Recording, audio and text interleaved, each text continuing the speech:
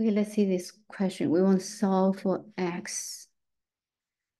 Um, so x raised by 9, x raised by 3. The power is very high. So what do we do? Let's do substitution. So maybe we use a variable k, we let k equals to x cubed. Then we can rewrite this equation as x raised by, so k, no, not, not x, k. We write it in terms of k. So there's k raised by 3, because x raised by 9 can be written as x raised by 3, again raised by 3. Then x raised by 3, we call it k, so I have k raised by 3. The minus 2k equals to radical 3. Now we have to manufacture this, right? So first, let's move radical 3 to the other side. So we subtract radical 3 on both sides. Then our goal is to make this in a factored form. Then we can apply zero property to solve for k.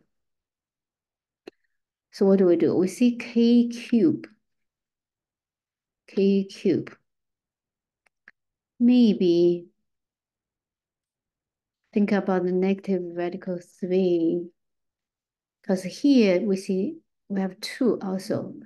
Maybe we want to write as uh, negative 3 radical 3 plus 2 radical 3, right? Because like radicals, negative 3 plus 2, that's negative 1 Because this is by default, that's one here.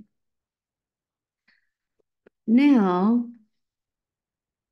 now this one is negative radical 3 cube, right?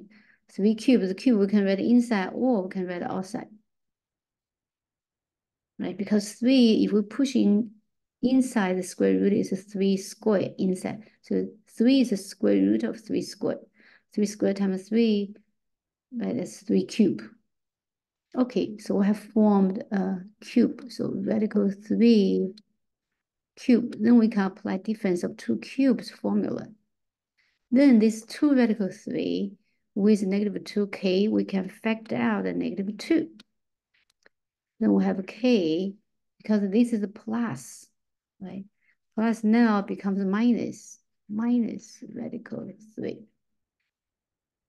So in this case, difference of two cubes can be factored as k minus radical 3 times k squared plus radical 3k plus radical 3 squared, which is just 3.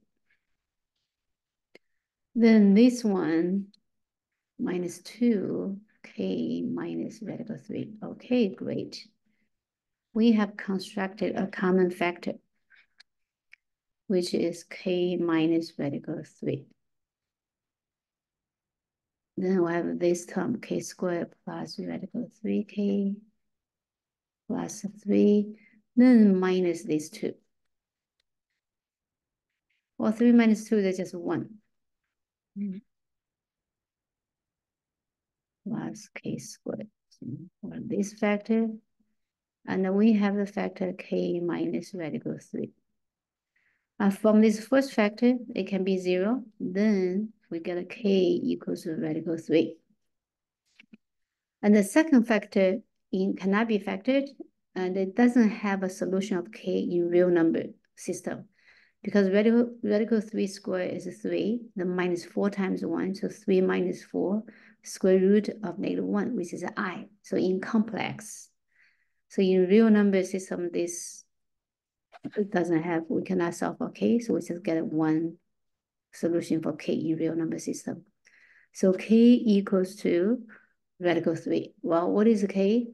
k is x cubed. So that means x cubed equals to radical 3. Now, maybe we cube root both sides. Right? Then we get cube x cubed, cube root, we get x, x equals to cube root, square root, multiply the two index. Two, three times two, six. So the index becomes six. So six root of 3. So that's the solution.